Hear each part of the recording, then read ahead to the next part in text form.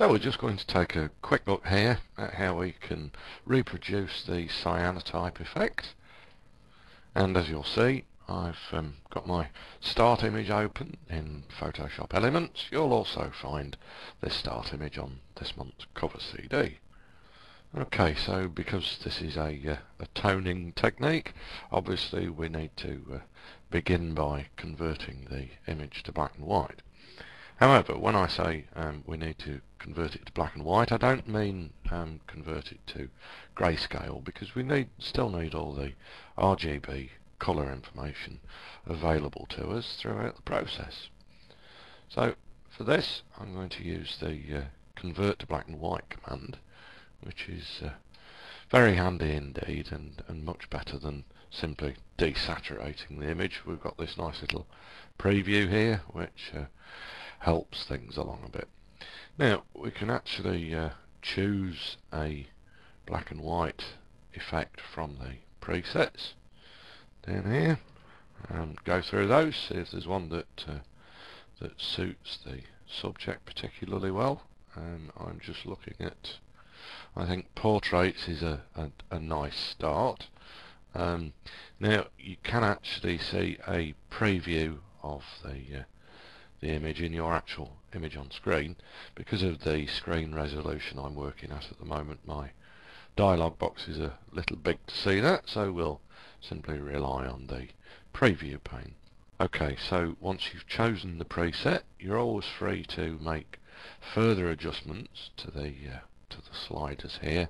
All we're doing here is um, adjusting the visible proportions of each of the uh, red green and blue channels and little like the uh, the channel mixer in uh, older versions of, of Photoshop and we can mix the channels to to our liking. We've also got a, a contrast control here that we can uh, tweak here and there. But basically you want a fairly a fairly low contrast black and white image with uh, nice punchy blacks there. So um, however long you want to spend making these adjustments, that's up to you. But I think somewhere around there will do us just fine. And we'll simply click OK to apply that effect.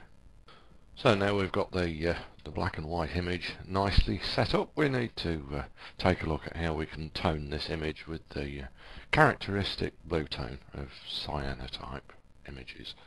We're going to do that by using an adjustment layer and you'll see why I'm doing it via an adjustment layer in a minute rather than uh, a straightforward menu command. So we'll go to layer, new adjustment layer and I want to choose hue saturation from the menu there. I don't want to rename this layer so we'll simply click OK to apply the layer itself. Now we're presented with the hue saturation dialog. First thing I want to do is make sure that preview is checked so I can see the result on uh, on my image on screen and I also want to check the colorize box.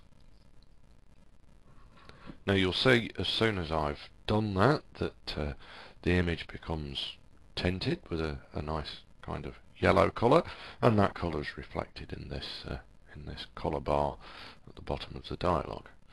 So we want a nice um, blue tint to this image, so I'm going to grab my hue slider and I'm going to drag it somewhere around between 190 and, and 200. The exact shade of blue um, is really a matter of personal preference, but I think somewhere somewhere around there is ideal. We can tweak with this thing for forever.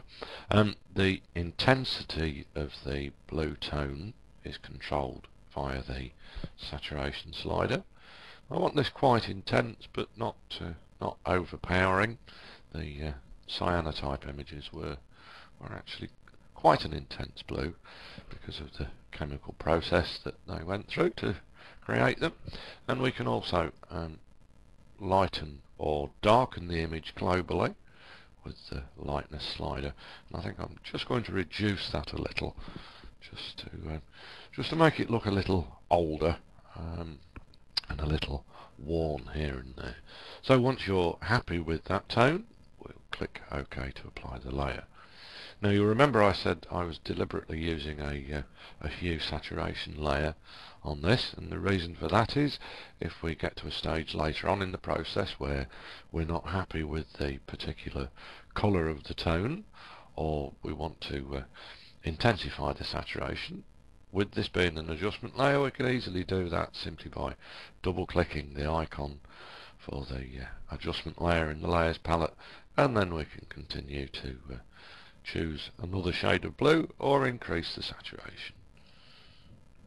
Once you've made those changes, if any changes, we can simply click OK to reapply the adjustment layer.